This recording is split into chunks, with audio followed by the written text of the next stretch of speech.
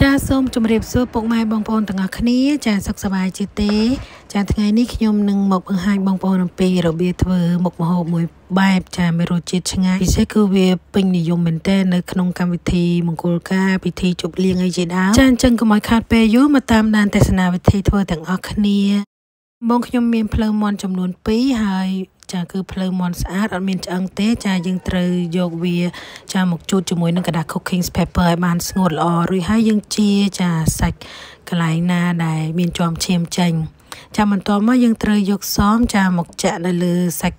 មន់របស់យើង តែបងប្អូនកុំត្រូវមិនត្រូវ ចាក់ខ្លាំងពេកទេចាកុំឲ្យវាធ្លុះដល់ស្បែកមន់របស់យើងខាងក្រោមណាបងប្អូន ចាបន្ទាប់មកយើងត្រូវរោយជាមួយអំបិលម្រេចចាយើងប្រឡាក់វាខាងក្នុងស្បែកមន់ហ្នឹងឲ្យបានសព្វសាច់ទៅចារួចហើយយើងមូលវាឡើងទៅលើ ចាយើងរុំវាឡើងទៅលើដូចយើងមូលកាទេលអញ្ចឹងចារួចហើយខ្ញុំប្រើចានេះគឺជាអំបោះសម្រាប់ចារុំសាច់តែម្ដងបងប្អូនអាចរក ជាវបានតាមផ្សារទំនើបផ្សេងផ្សេងឬក៏ចាតាមផ្សារក៏បានដែរយើងសួរគេថាចាំបោះសម្រាប់ហូមខ្សាច់ចឹងណាឬក៏ចានៅតាមនៅដៃសូចានៅដៃសូក៏មានលក់ដែរចាវាវិធូថ្លៃផងបងប្អូន ហើយយើងត្រូវយកវាចាមកចងរឹតអឺសាច់មាន់របស់យើង ចាជាដូចថាដូចសមជ្រូកចឹងបងប្អូន ចាយើង ចងវាឲ្យណែនទៅ វិធីចងហ្នឹងគឺខ្ញុំក៏មិនជាសូវប្រកែខាងចងចឹងដែរបងប្អូនអាចចងតាមរបៀបបងប្អូនទៅតែយើងធ្វើយ៉ាងម៉េចឲ្យសាច់មាន់យើងវារមូលចូលគ្នាហើយយើងចងឲ្យណែនឲ្យជាប់ចាបងប្អូនរួចហើយយើងចាយើងដាក់ខ្ទះចាយើងដាក់ប្រេងហើយយើងយកសាច់មាន់យើងមកចៀន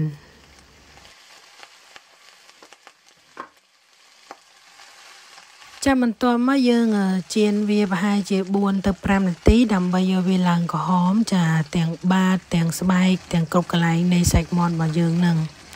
ចាហើយក្នុងអំឡុងពេលហ្នឹងបងប្អូនត្រូវត្រៀមចាដើមទឹមខ្យល់ហើយនឹងខ្ញី4 5ប្រទេស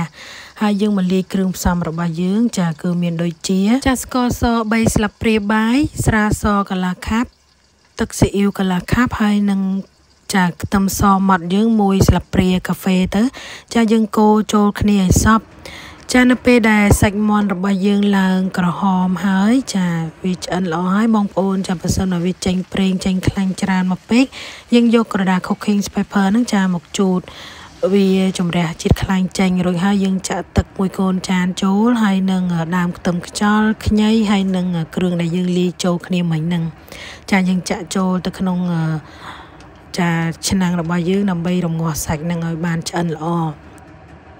នៅពេលដែលយើងស្ងោរសាច់យើងប្រហែលបាន10នាទីហើយឬក៏ថាមើលទៅសាច់មាន់យើងបានឆ្អិនល្អហើយបងប្អូន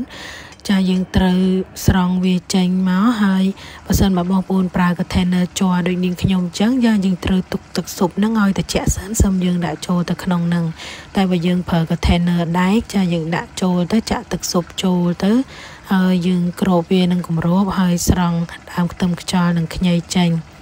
រួចហើយយើងទុកនៅក្នុងទូទឹកកកហ្នឹងរយៈពេល6ម៉ោងឬក៏ពេញមួយថ្ងៃ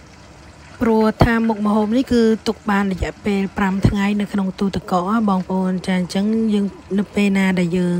ត្រូវការញ៉ាំយើងយកវាមកហាន់ញ៉ាំទៅបងប្អូនដើម្បីបង្កើនរសជាតិវាឲ្យកាន់តែឆ្ងាញ់ចាយើងលម្អវាជាមួយនឹងចាដើមខ្ទឹមខ្យល់ចាយកហាន់យកវាមកហាន់ជាទៅសៃស្ដើងស្ដើងតែអាចធ្វើទៅបានបងប្អូនរួចហើយយើងដាក់វាត្រាំទឹក